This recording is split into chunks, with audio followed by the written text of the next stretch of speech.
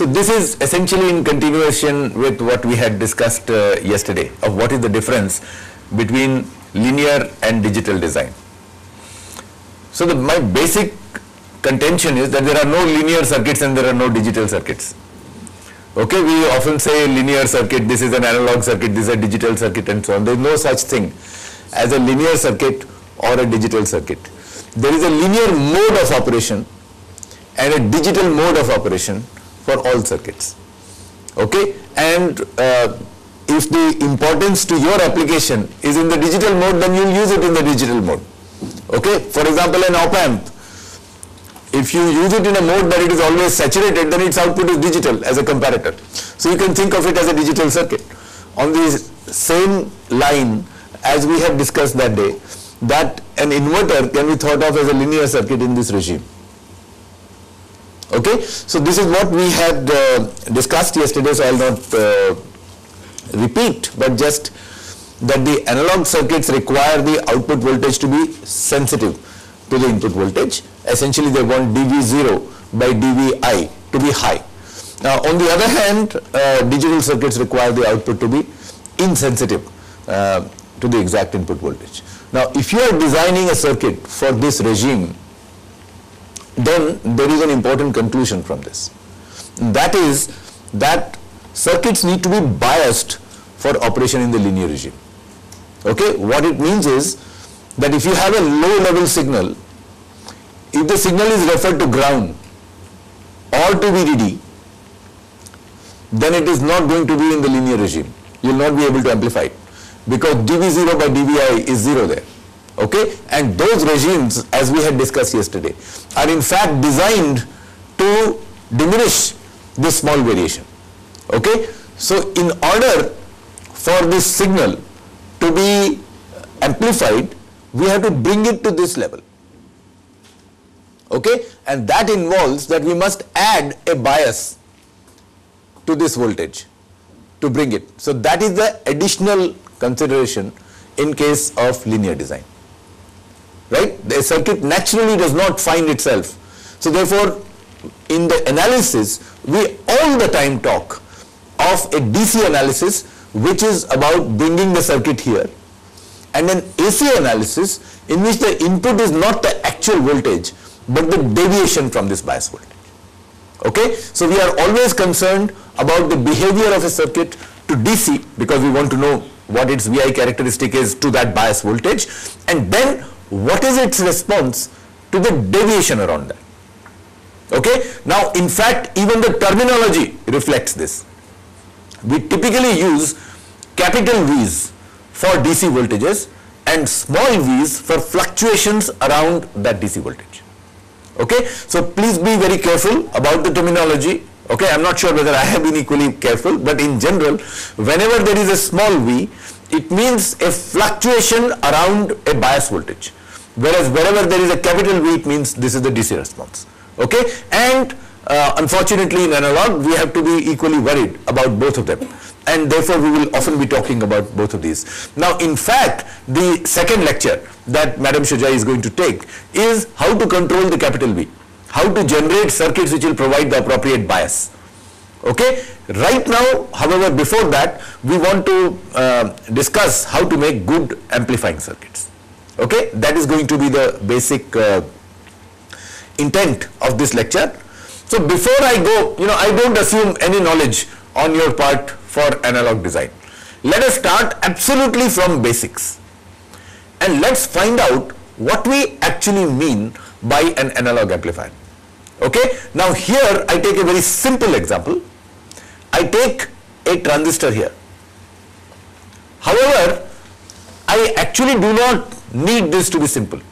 Any linear operation circuit can be placed here okay, as long as we have ways of characterizing its current voltage characteristics. Okay, so later you will see that we'll put a cascode here, we'll put a differential amplifier here and so on. All of them will follow essentially the same relationship. Okay, but to begin with, let's start with something simple that we can appreciate very easily. So let's put a single transistor here. So what do I have here? I have a small a, a, a, transistor here and it is being fed by a current source. Okay? The, notice this is the small vi and this is the capital VG. So for bias, we have applied a gate voltage here and superimposed on top of that Vg is a fluctuation which is small vi. Okay? Now let's start from absolute basic principles. So this is not analog design, this is elementary calculus. Okay? What is the differential of total differential of the current flowing through this circuit ID? Okay? This is the partial differential with respect to the gate times delta Vg and partial differential with respect to the drain voltage times delta Vd. Okay? So this is this is not rocket science. This is just expanding. After all, ID, the, the current through this depends only on two voltages. It depends only on the gate voltage and the drain voltage. Therefore, the total variation in ID is the partial variation with respect to Vg and the partial variation with respect to Vd multiplied by the corresponding deltas. Okay, so this is the starting equation for amplification. Okay, now notice that we are not assuming any transistor equations and so on. Eventually, the calculation of these partial derivatives will be from the IV characteristics of whatever device we place here. In this particular place, we have placed a single transistor. But this equation applies to anything that you can place there. Okay, now we define dID by dVg to be the transconductance, GM. Okay, so dID by dVg should be evaluated at this capital Vg right. So this dID by dVg is the transconductance. It is so named because it links an output characteristic which is the drain current to an input characteristic which is the gate voltage. Okay, hence it is it transforms the input to the output. Okay, so we will call dID by dVg as GM or the transconductance. Similarly, dID by dVd, both of these are output characteristics. The voltage at the output, the current through the output right. So therefore dID by dVd we call G0, right. Then this equation can be rewritten as dID is equal to Gm, this is Gm, times dVi which is small vi, right. The variation in Vg is the small vi. So Gm times small vi plus G0 times V0 that is dID and dID is 0 because it's a current source. Okay, so there is no variation in current, it's a constant current source. So this is 0. So this is our defining equation. Notice we have never brought in specific characteristics of a transistor here. Therefore it will apply to whatever we place here. Okay? So therefore 0 is equal to Gm times the input voltage plus G0 times the output voltage. Right? And these are fluctuations. These are not absolute DC values in volts there. This is the amount of fluctuation at the input and amount of fluctuation at the output. And therefore the voltage gain is 0 which is V0 by Vi is minus Gm by G0 as simple as that. Okay. Very often instead of talking of G's which are conductances you talk of a resistance and instead of G0 you talk of an R0. Okay. So the gain is minus Gm times R0. Now this equation is very general it applies to any device connected here and we will be using it throughout this lecture and whenever you do any analog stuff, you'll find that this thing props up. So this is the fundamental equation of amplification. Okay. Now, let us not just reduce this to algebra. Let's understand what is going, what is happening here. So what is R0? R0 is this, the rate of change of current with respect to the rate of change of the output voltage right? So we want R0 to be large or G0 to be small, right? This is G0. So for getting good gain, we want G0 to be small. When is it small? When this differential is small. And if this differential is small, what does it mean? That means ID does not change very much with VD. Correct? That is when this differential is small. And what it means is that we should be operating in the flat region of the transistor characteristic where the drain current doesn't change a lot with the drain voltage. It is for this reason that most analog design requires the transistors to be in their saturation region so that the current doesn't change with respect to the output voltage. Okay, this part is clear. This is fundamental to good analog design and it comes from here. And it is, you know, applies to almost anything that you amplify. Okay, this is the defining equation of amplification from which all things are derived.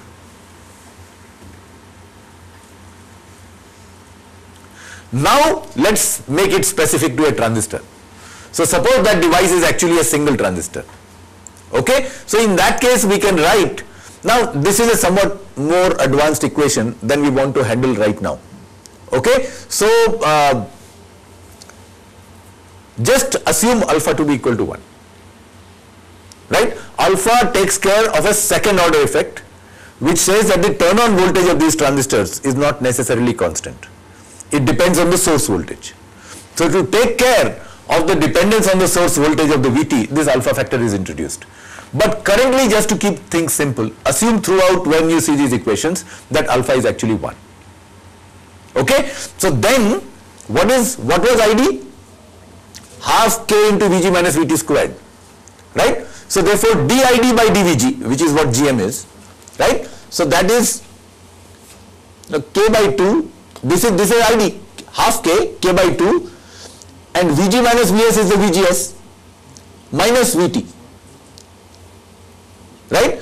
What we are going to, act, this alpha what it does is that it says that Vt is some constant Vt0 plus something which depends on Vs. That is what this alpha was supposed to take care of.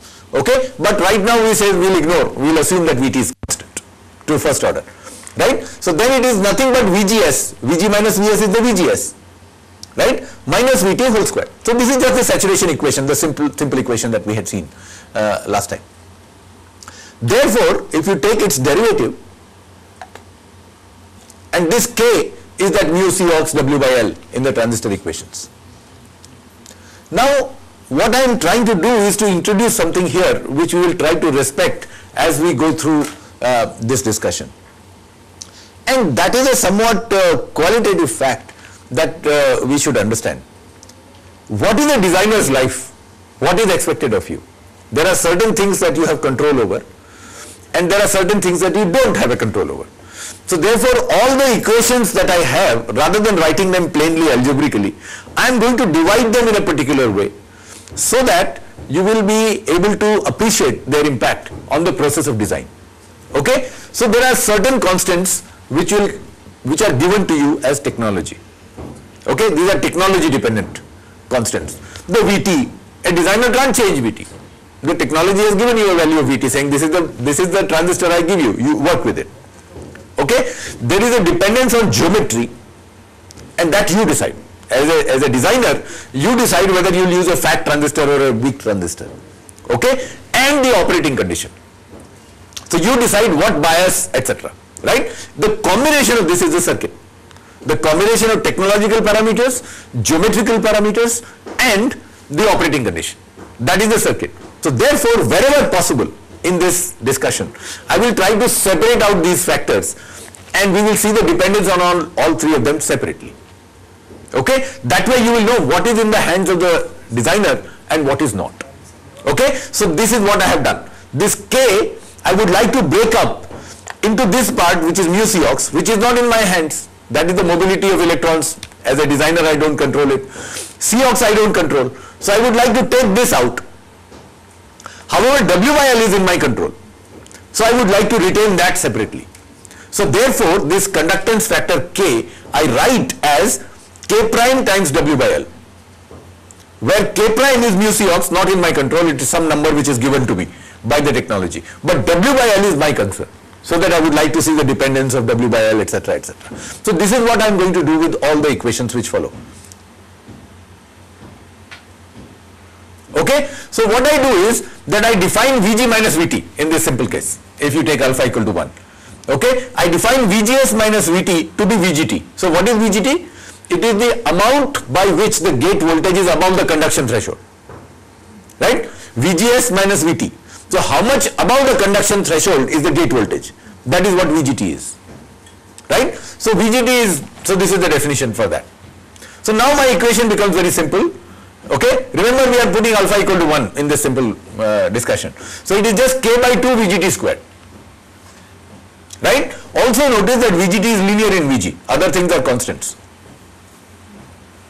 Okay. So then what is GM? GM was partial derivative of id with respect to vg and because vg and vgt are related linearly right? So this is k by alpha into vgt itself. Right? Into dvgt by dv right? But dvgt by dvg is just 1 because of this.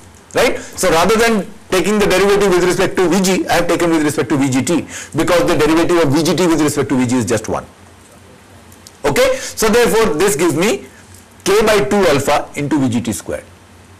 Okay? Now i'm going to play a trick on you. So be careful and catch me if i do something wrong. Okay? So follow the development from this point onwards quite carefully. Because i'm going to raise a question and i'll ask an answer from that because there is an apparent mismatch in things beyond this point. Okay? So let's start all of you agree that id is k by 2 vgt squared. Okay? By the way this is not the catch. So there is no no dishonesty in this. And gm is therefore its derivative. So that is that number. And notice that i have again divided it like this. So k prime is not in my hands. In fact nor is alpha in my hand. Okay? So but we are taking alpha equal to 1 so k prime times w by l times vgt that is gm okay? So notice gm is directly controlled by how much above the threshold voltage I am. Okay? In the voltage. Because VGT is the amount of forward bias I put on this transistor. However, look at this equation. I can evaluate VGT in terms of current. Okay? And it is nothing but root 2 I by K. Okay? Again alpha is 1 so this is root 2 ID by K. Agreed no no no trick in that this is the equation we started with.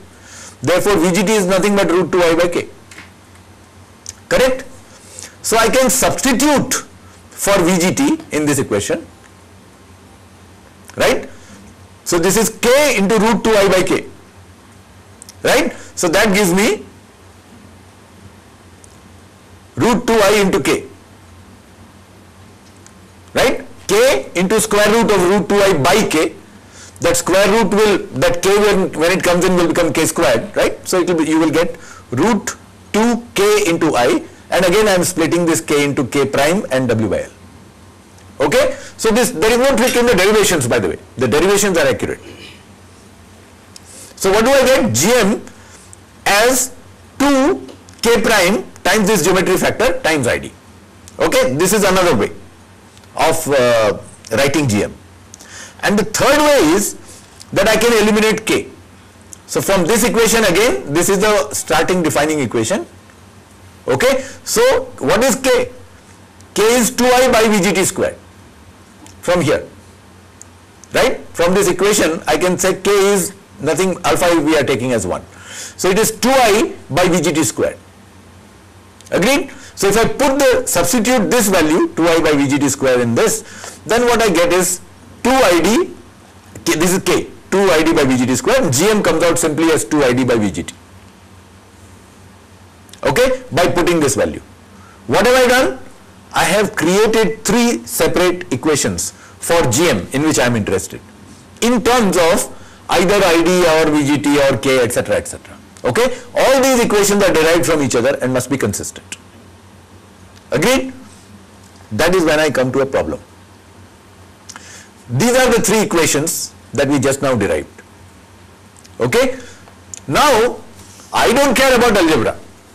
You may have derived it, I don't care. What I care is that for high gain, I need high GM. My gain is GM times RL, right?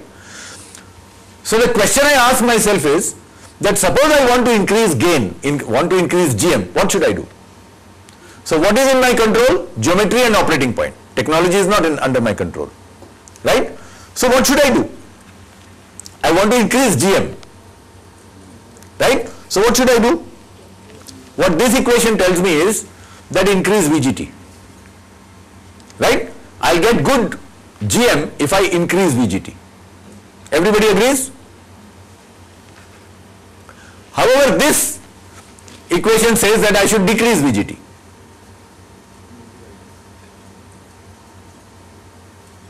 Right? And both are correct, both are derived from each other. So I have a problem. Similarly, The other thing I can control is geometry. So I say, okay, all right, you know, something has happened there, too confusing, we'll come back to it later. The other thing I can control is geometry. Okay? So is GM directly proportional to the geometry, linearly dependent on W by L? Or is it dependent on the square root of W by L? Or is it independent of W by L? Okay? Now all these equations are derived from each other. They must be consistent. And yet here I am, a poor old designer who just has derived these equations and I'm totally confused. I'm asked to design a single transistor circuit and now I want a high value of GM and I don't know whether to operate it at high VGT or low VGT. I don't know whether how to adjust the geometry. Suppose I want to change the GM. Will the GM change proportional to the geometry square proportional to square root of geometry or it will totally ignore any changes in geometry and GM will remain the same. Okay, so what's going wrong here? That is the question I wanted to ask you. These equations, there is no trick in them, they are derived from each other by eliminating one or the other. So they must be consistent and yet here I am, as soon as I want to use these equations, I find that I get contradictory results. So what is happening?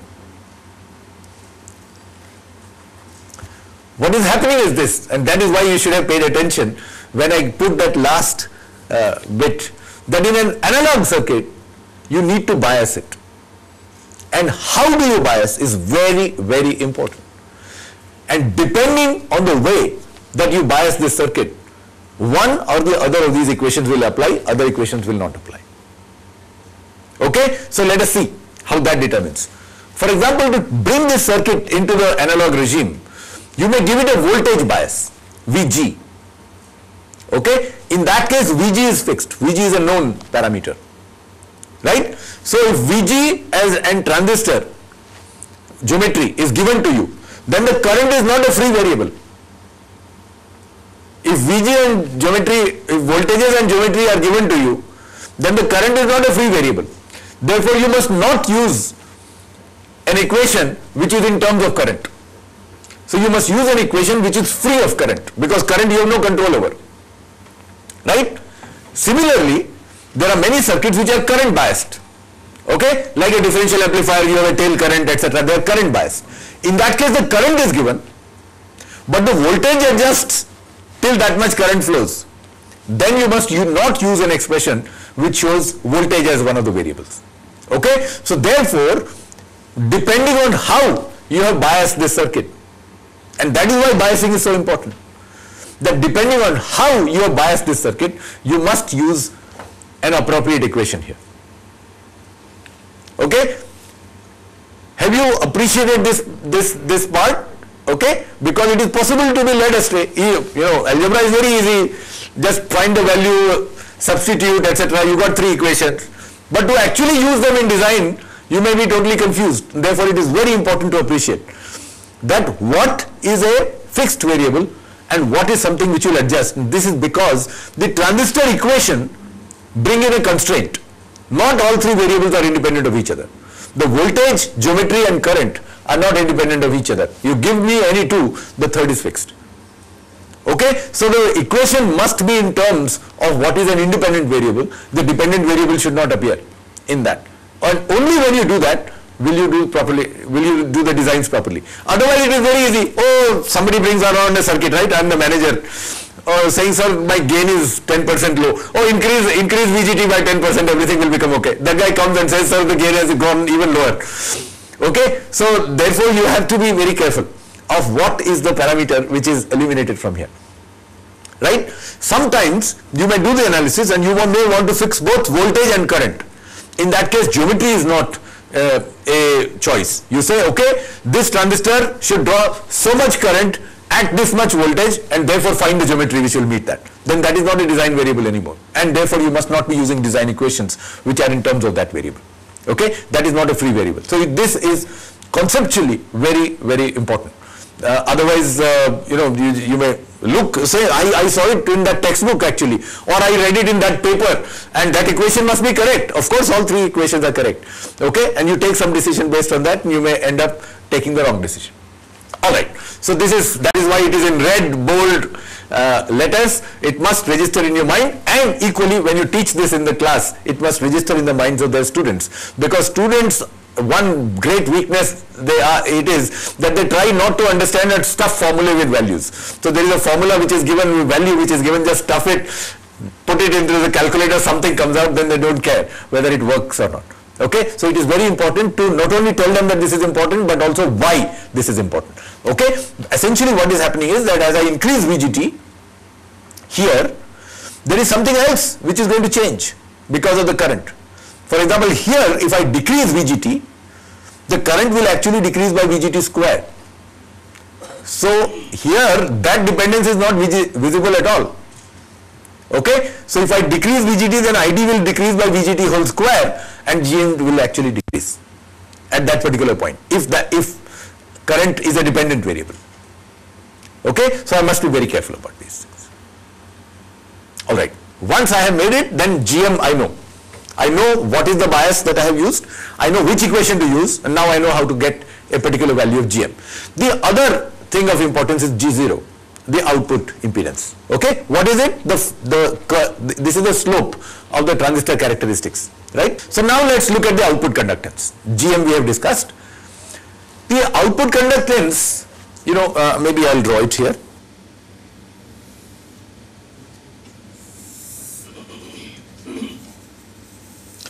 Now the characteristics are like this. And all these lines, this is the portion that I am worried about. And the assumption is that all these lines will join at some point called the early voltage on the negative side. Okay? This is the transistor characteristics, we know. So what does it talk about this slope? Remember this is like a hinge. So the slope becomes larger as the current becomes larger. Okay, so the slope is proportional to the absolute amount of current. That is one thing. The second thing is that the slope is inversely inversely proportional to VE. The closer is V, the more will be the slope. The farther away, in fact, if V is at infinity, then this thing will be absolutely flat. Okay? And what causes this slope? Actually this slope is because of the channel length modulation. The transistor has a particular physical channel length but because of the drain voltage the depletion layer comes into this and that subtracts the channel length and therefore the current increases. That's why the current is dependent at all on the drain voltage. Otherwise physics says that the current should have been constant with drain voltage. But what happens is that as you increase the drain voltage, the depletion width associated with the drain junction gets into the channel and reduces the effective channel length. So instead of W by L, you get W by L minus delta. And therefore the effective W by L factor goes up. Therefore the current goes up. Right? So therefore smaller the channel length, more important is delta with respect to L. Right? So therefore for long channel effects, you will not get a lot of slope. But for short channel devices, you will get very steep slope. Okay, so let us have a very simple model here, which is a linear model. We will say that G0 is directly proportional to ID and inversely proportional to L. Okay, shorter the channel length, right? Current is W by L, so it should be inversely proportional to L, right? So G0 is inversely proportional to L and directly proportional to ID. Larger the value of ID as you had seen, larger is the slope. And this is the proportionality constant lambda prime. Okay, I call it lambda prime and not lambda because there is another variable which SPICE simulation programs use called lambda which is also occurs in the same context and I don't want, I don't want any confusion. I want to avoid confusion. So we are just calling this proportionality constant lambda, lambda prime. Okay not lambda because lambda is used by uh, transistor parameters in uh, SPICE or circuit simulation uh, programs. It is not that lambda. It is related but it is not that lambda. Okay? So then g0 is lambda prime id divided by l. Okay? This is bias this is geometry this is technology okay now i know g0 I can now play the same trick. From the transistor equations, I can put ID in terms of VGT and the geometry in terms of VGT and so on. So similarly, I can find various equations. Okay, and the early voltage is nothing by but L by lambda prime. This whole thing, lambda prime by L, is nothing but 1 by early voltage. Okay, so now of course, because I have various combinations, three expressions for Gm, three expressions for G0, I can now write down Gm by G0, which is the gain, right? In terms of those three constraints. That is to say, one of the equations should be free of VGT, one of the equations should be free of ID, and one of the equations should be free essentially of geometry. Okay, so that I can write it down. So the voltage gain in terms of geometry and VGT, free of ID, is A0 equal to 2L upon lambda prime by VGT. In terms of drain current and geometry, this is A0 equal to this, etc. Okay, so now GM by G0 can be found out. I have done GM, I have done G0, but I observe that if I use one equation there, which is free of ID, I also use the corresponding equation here, which is free of ID, so that eventually I come out free of ID. Okay? This is for DC, DC gain. That is to say, given any fluctuation, I am not talking of the rate of fluctuation. Right? So that is DC. But what happens if you have AC? That means this fluctuation is occurring at some rate and therefore the capacitive effects cannot be ignored. Okay, so again I will just bring back that original fundamental thing is very important and it is also very important that you make your students connect to that fundamental frame of uh, analog amplification. So if you recall what have we used? This was the current, current source, right? And here was our device. And this had bias Vg and superimpose on that the small vi. Okay? And this was my V0 at some Vd. Right? Now in AC, I cannot ignore the capacitances. Right? So notice that now there is a capacitor here, which I must charge and discharge. Right? That is what we were discussing in some sense uh, yesterday in the uh, in Professor Chandorkar's lecture, right, on logical effort. It is the analog version of the same thing. So I must now worry about this capacitor. So why is it that I have to change my original theory, which appeared so fundamental? Why do I have to bring in a new thing in that theory? And the answer to that is that what did we do? We put delta ID equal to 0. Remember? Which is true here also. Delta ID is 0 that means the fluctuation through the current source is zero. But that doesn't mean that the fluctuation through this current, current is zero anymore. Because now there are two paths of this current and the sum of the two is zero. Right? Overall it is fed by a current source. But now delta ID of the, of the transistor is not necessarily zero because it must provide the charging discharging current. Okay? So therefore it is the sum of these two which is zero. That means there is an effective RC circuit, a first pole circuit, which I must analyze at AC. So what will happen is that at very high voltages, my delta A being 0, my A will become less. Okay? Because earlier I just got GM by G0 by putting V0, but now this, this current will subtract from that. Okay, the amount of current available for amplification is now lower. It will subtract from that and my gain will come down as the frequency goes higher. That is to be expected. You are putting a capacitor across from the output, the gain will come down. Right? So this G0 is essentially equivalent to an RL here. And this RL times C provides a first order pole across this on the output and therefore it will have the usual decreasing gain uh, of, and with a slope of 6 dB per octave. Okay, so what we do is that all right, we have already done the hard work for finding the gain for this in DC. We will say that the actual amplifier is that same amplifier with an RC circuit as a first order pole. Okay, and then that is the AC picture of this. right? These are my gate and source terminals. Okay, now there is this CG across the input. This is the gate capacitance. And this Vi is the same as the previous one, the ideal Vi. But rather than taking the output directly like that, in parallel across this is the output resistance because this is a current source. So the resistance will come in parallel and this is the load capacitance from drain to source. Okay. Essentially what, what you mean is that this slope is because of this R0. Right. Otherwise the current would have been constant. Suppose this R0 was not there. Then the output current would have been constant because this is just Gm times Vi. Right. It is this resistance which provides the drain dependence. Uh, one doubt, sir. So the GMVI is the current through the transistor now. Through the this is the this is the current uh, caused by yeah through the transistor, and this is the current through the capacitor, and the sum of these two must e must equal whatever zero delta in terms of deltas. Okay. Now this remember is an incremental circuit. This is not a DC circuit. So it says what happens to the fluctuations of voltages. Okay, so the fluctuating part of the current is Gm times Vi. The actual current is determined by the transistor characteristics. Okay, so this is an equivalent circuit for fluctuations. Alright, now it is very easy to do the algebra, you just sum the current here. Okay, so the current coming here, this is Vi, this is V0.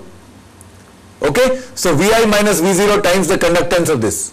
So Vi minus V0 times the conductance of this CGD. Right? That is the incoming current. This is the outgoing current Gm times Vi. So you put that. This is the outgoing current V0 by R0. So you put that with a minus sign. And this is the outgoing current through the capacitor. Right? So that is minus S V0 times V0. Right? Once you do that, you collect all terms in Vi and V0 separately and calculate the new expression for V0 by Vi, which is the old expression minus GMR0 multiplied by this factor, which is the new gain. Okay? And notice that it is like 1 plus RC, 1 plus something RC. Right? So this is a first pole circuit as expected. Right? So this part is clear. Algebra is not that important. It is important to understand that now my gain is less because of this RC circuit and this is what it, it is also telling us. Okay? And this CGD and this C0 are coming in parallel. Here. And this CGD is also giving a 0 here. And that is that simply says that because of this series connection there is some output which will come because of this feed through which will increase with frequency. Okay? But in reality this CGD is very very small it's a parasitic capacitance between gate and drain it's because of that small overlap capacitance so this parasitic capacitance is very, very small and initially we'll ignore this. Uh, could you just explain me what that S is actually? Oh, S is j omega. Ah, okay. This is the uh, Laplace transform. So this is effectively j omega. So the conductance of this is j omega c. Okay, the resistance is, impedance is 1 by j omega c. The conductance is j omega c. So j omega c j omega c times the voltage. Okay, that is the current, fluctuating current. You just uh, write this. Okay? All right. So then we finally can write A A1 as the DC current divided by 1 plus j omega CR. Okay, this S is j omega and this is C times R. So it has a time constant CR right? And once omega becomes greater than Cr, this current will start decreasing because of that 1 plus j omega Cr. Okay, so that is what we expect a first order uh, pole effect. So essentially this is how it looks. Okay, now we define various factors here which is standard with first pole analysis, nothing new here. So at the point where the gain has dropped by 3 dB, Okay, that means the voltage gain has become lower by square root of 2. That point is called the bandwidth. So this frequency is called the bandwidth of this amplifier. And the point where the gain reduces to 1, that means it stops amplifying completely. That is the cutoff frequency. Okay, and because it drops linearly on a log scale here, that is called the gain bandwidth product. Okay, any point here, right, the gain times bandwidth remains constant along this line. Okay, so that line is called gain bandwidth product. When gain becomes 1, the frequency is gain bandwidth product. So this we will be calling GBW. Alright, now GBW is then, this is the gain, GMR0 and the bandwidth is 1 by RC. Right? So this is GMR0 into 1 by RC which simply gives you GN by C total. Okay? Notice one very important point. The frequency at which this amplifier stops amplifying that is independent of the slope of the output characteristic. Okay, it is, it is independent of R. The gain depends on R, the bandwidth depends on R, but the gain bandwidth frequency, ba gain bandwidth product is independent of R. Because it occurs here in the DC gain as well as in the roll off factor. So what it means is that as you change R, suppose your R is much higher, that means your DC gain is much higher, but it starts rolling off much earlier. Okay, so essentially what it means is that you will start here, but you will start rolling off much earlier and eventually come down on this same straight line, ending at the same GBW. Okay, as you change R0. Your bandwidth will, will, will become less and you'll start rolling off earlier, though you would start out with a new, with a higher DC gain. Okay, this part is clear? Now I say, suppose I don't put any load at all. What is the maximum possible AC gain that this object can have? Right? Suppose I put no load, then it gives me a kind of upper bound on the capability of this. Right? Suppose I don't put any external load, only the self-loading is there. Okay? Now how much is the self-loading? The self-loading is proportional to the width of this transistor. The wider the transistor, larger is the capacitance on it right? So I assume that the load capacitance is proportional to some chi times W, where chi is another proportionality constant. Okay? So if the C load is chi times W, then I can calculate the GW, GBW max and I get this simple equation which is 2ID by chi times whatever. Okay? This is absolutely the highest frequency to which you can go with this technology. Okay? Alright? Now we can make a little table. Don't worry about it, this table is in your notes, you don't have to worry about the actual things, but in terms of WL, VGT, this is GM, G0, A0, gain bandwidth uh, product and GBW max. Okay, we calculate all of these and put down in this nice little table and we have a particular purpose in doing this. Okay, and what is the purpose? That I, if I further multiply gain with GBW max, okay, so gain bandwidth product is already the product of gain and band, bandwidth. So if I further multiply by gain, that means I have gain squared times the bandwidth, if I calculate that, what I get are only technological factors. That means the designer has no contribution to this quantity. This quantity is invariant. You give me a technology, then this is all I can do. Don't ask me for more. Because as a designer, there is no geometry here, there is no operating point here. Okay, so this is the this is a measure of the technology that you have given me.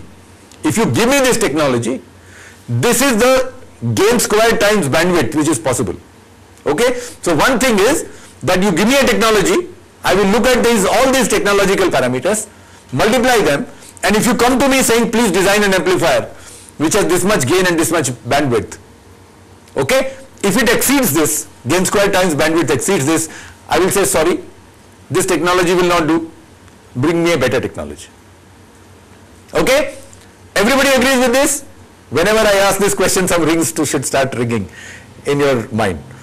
Okay? Because when I normally ask when the answer is unexpected. Well, as far as this is concerned, that is actually true. Okay? That is called the technological constant of this amplifier. Okay? This is the best I can do. Unloaded amplifier no demands from this amplifier, this is the highest frequency to which it will go given this technology. Want better, give me a better technology. Okay? So consider this scenario that you are the designer and go to your boss and your boss says, I don't care.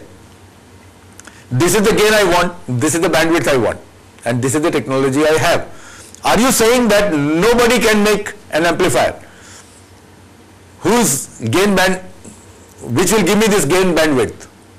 Okay? So now you are a little worried whether all this analysis is correct or not.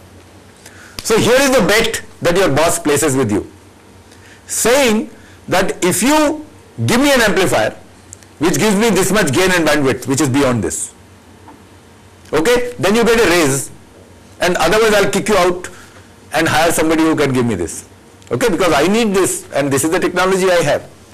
So now that sets us thinking, is it really, are we really limiting uh, limited to this from technology factors. The designer can really do nothing. I don't see anything here which the designer can control. Okay? And then suddenly, like Kekule's dream, I say, look, I am assuming that only one transistor is used. Can I not use two transistors and use this transistor pair to generate better gain bandwidth product? Okay? The answer happens to be yes. Okay? Now, there are two transistors. How many possibilities are there that I connect them? I can either put them in series or put them in parallel. Right? There is no other choice that I have. If I put them in parallel, effectively I get a single transistor which is wider. And that I already know will not help. You get this? Take two transistors, connect gate to gate, drain to drain, source to source. Right? Put them in parallel and now obviously that will not do. Because that is equivalent to a single transistor and I know that a single transistor will not give me these characteristics. So the only possibility is to put them one on top of the other and go to the Hanuman Mandir and pray that maybe this configuration will give me the characteristics that uh, are required. Okay, so that is called a cascode and that is what we will look at next. Okay, so this is the cascode. So what have I done? I have put a transistor here and put another transistor on top. I have given it a bias. So now I have capital VG1 and a capital VG2. No signal is applied here. Only DC is applied here. Okay? And this is my compound transistor, both of these together. Right? Which I will replace that single transistor with. Rest remains the same. There is a current source here, this is the output, this is the input voltage. Everything else remains the same. Okay? And now I am hoping that my gain will be better. Okay? So you got it? I don't have two signal sources to connect. Only one signal source. Therefore, this, go, this guy should be connected like a single transistor and that is possible because I am just applying a DC bias here. Now, why do I hope to succeed? Okay? There is a qualitative reason, quantitative stuff we'll see later, but there is a qualitative reason why I hope to succeed in getting higher than what I was getting earlier. Okay? The reason for that is the following. What is our enemy? What is limiting us in gain? Because the output current changes with respect to output voltage. If the output current did not change at all, if I had ideal saturation, then I will have infinite gain. Right? G, G0 will be 0 and Gm by G0 will be infinite. Okay? Then I can see my boss in the eye and say, tell me what you want and I will give it to you. Unfortunately, the real transistor, the G0 is finite. So my attempt is to reduce G0. Right? What I want to do is that as the voltage changes on the drain, the current through this transistor pair should not change very much. That is my hope. And that is what this pair will do. Because if I fluctuate this voltage, okay, remember that this is a DC voltage. And this voltage is like a source follower with respect to that. Right? So if there is no fluctuation here, there is no fluctuation here. Alright? This is a source follower. It will follow the input voltage and there is no fluctuation here, there should be no fluctuation here. Right? If there is no fluctuation here, then this guy actually sees a constant drain voltage, even though the voltage here is fluctuating. Okay? So this guy sees a fluctuating, uh, is a, sees a constant drain voltage, therefore the current is constant and therefore the overall current will be constant. Okay? Of course, this is a somewhat rough theory. In reality, the current through this will fluctuate. As the current through this fluctuates, this VGS will change and therefore there will be a small amount of fluctuation here. It will not be zero, but it will be small. However, I do expect that it will help me improve the uh, improve improve the uh, output characteristics of my transistor. Okay, this is one way of looking at it. There is another way of looking, and that is this. Think of this as an amplifier. Okay, now the gate is grounded for AC, right? So it's like a common base amplifier, right? And if this is its output voltage, this fluctuation is its output voltage, fluctuation here will be that voltage divided by the common base gain of this stage. So that will be much smaller because we know that in common gate the voltage gain is very high, right? So therefore the fluctuation here I, by either argument will be is going to be much smaller and as a result the current fluctuation produced due to drain voltage variation will be very small. That's why this becomes better. Okay, once we have understood it, the rest is just mechanical detail. Okay, so have we understood this? What have we done? Essentially, you have put this transistor to isolate the voltage fluctuation at the output terminal from the voltage fluctuation at the amplifier transistor. Okay, all that extra voltage fluctuation is absorbed across this. Okay, so its source voltage is changing very little and the drain voltage is doing all the fluctuations and very little of the drain voltage fluctuation here is passed on to the drain voltage fluctuation here. That is what is happening. Th that is the advantage of the cascode. And finally, what do I come up with? That the effective GM of this two transistor pair is the same as the GM of the lower transistor. Okay, that is to be expected because the current is current in response to the signal is controlled by the lower transistor. And because these two are in series whatever current flows through the lower transistor that is the current which will flow through both the transistors. Right? So the GM is controlled is the same as the GM of the lower transistor. Right